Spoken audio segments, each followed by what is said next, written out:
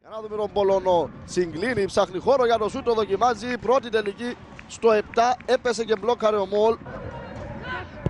Κρατάει, βγάζει Γιαννούρης. Για να δούμε εδώ τον εθνικό. Η μπαγιά η κάθετη για τον Ζάκπα. Δεν μπο- πρόλαβε. Εκτελεί ο Μάζουρεκ. Η μπάλα στην περιοχή. Ο Μολ δεν μπορεί να συγκρατήσει. Το γύρισμα που έγινε η κεφαλιά έξω. Περνάει για Μποβέδα. Η σέντα του Μποβέδα απομακρύνει ο Άδωνη. Ο Ακάσο. Το σουτ που έγινε σε παιχνίδια με τον εθνικό την τελευταία 20 ετία. Εδώ η παγιά που βγαίνει ο Τσάκπα Τσιμπάι. Δεν μπορεί σε δεύτερο χρόνο να τελειώσει την φάση. Γκόρουμπετς.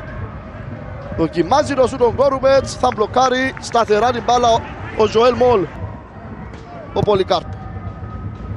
Εκτέλεσε ο Πηλέας. Η μπάλα περνάει. Ευκαιρία εδώ το σουτ. Την μπάλα έξω. Πηλέας. Τελεί με το αριστερό. Η κεφαγιά που έγινε. Σώζει ο Μολ. Ε, από την άλλη, ο Ολυμπιακός δεν πατάει καλά. Έχει παράπονα. Να δούμε όμως.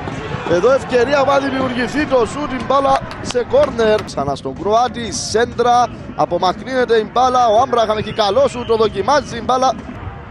Ευτυχίδης, μαρκάρισμα του Χολ.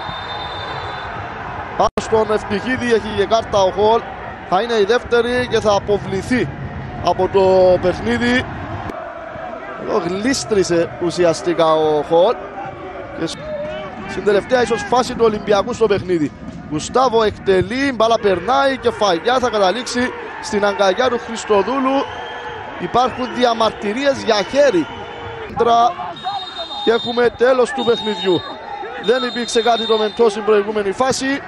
Σύμφωνα και με το βάρ για να τελειώσει το παιχνίδι ο διαιτητής 0-0. Ολυμπιακός και Εθνικός ε, Άχνας εδώ βλέπουμε την ε, τελευταία φάση στο παιχνίδι. Από τις διαμαρτυρίες που είχαμε από τον Ολυμπιακό δεν έγινε κίνηση.